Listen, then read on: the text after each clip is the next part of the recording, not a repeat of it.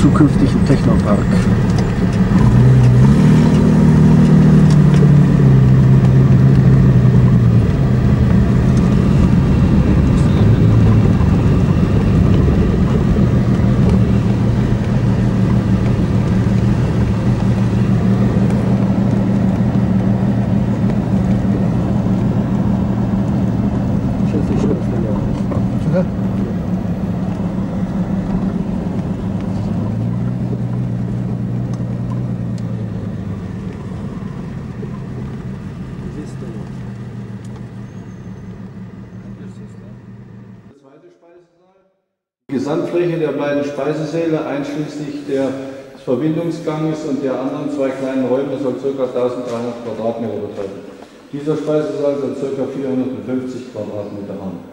Das Gebalg ist aus Holz äh, mit, und dann verputzt, weil oben drauf äh, ein Spitzdach aus Asbestzement äh, ist. Der Raum selber befindet sich eigentlich nach in einem verhältnismäßig guten baulichen Zustand. Die Heizungen sind äh, hinter äh, den Granitplatten äh, eingebaut. So, und hier besteht die Möglichkeit, im Grunde genommen das Gebäude abzutrennen, dass die, äh,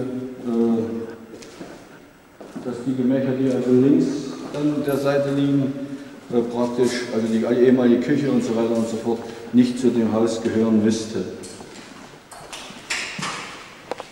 Die andere Fläche, die Großfläche des anderen Raumes, beträgt ca. 700 und ca. 700 Quadratmeter Raum. Also das ist ein bisschen größer.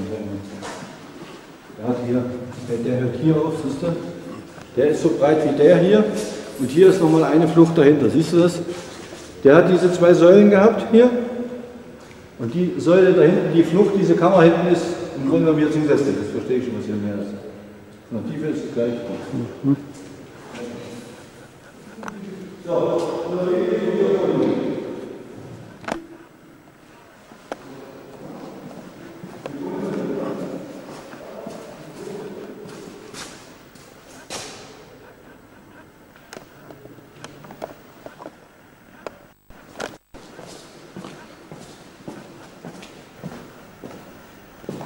Und gleich daneben ist die Eingangssituation.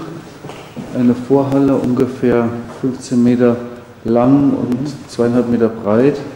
Und hier nochmal der unmittelbare Eingang mit drei Türen.